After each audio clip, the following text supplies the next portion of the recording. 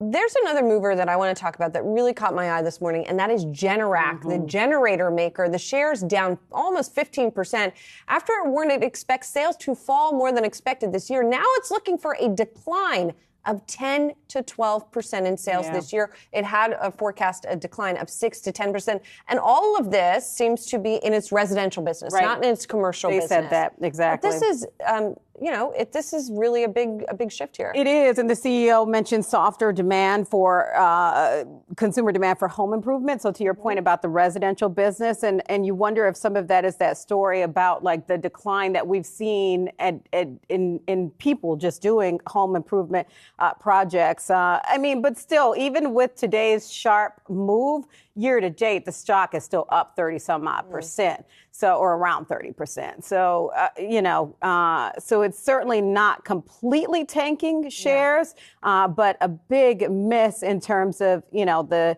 both the sales decline and then expectations going forward. Yeah, I mean, it's so interesting to me. All of these stories that were the pull forward pandemic stories, right? right. This is one of these things where people were buying generators during mm-hmm. the pandemic um, because they were at home. They felt like they needed that backup.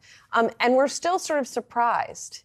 Right. You know, or at least surprised the by the magnitude. Were, right. Because the trends were so strong then, you felt like there was, uh, you know, a tailwind to it. Yeah, and that it and would it, be sustainable to some degree at least. But here, um, this, this magnitude of this decline is really something. The company does say one small um, bright spot here is that it says its commercial business is going to hold up better.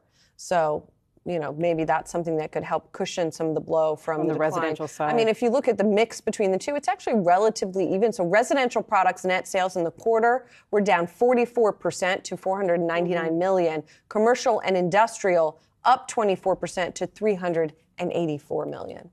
So a little bit yeah, better on that well, point. Yeah, but not enough for the stock today. Yeah. All right.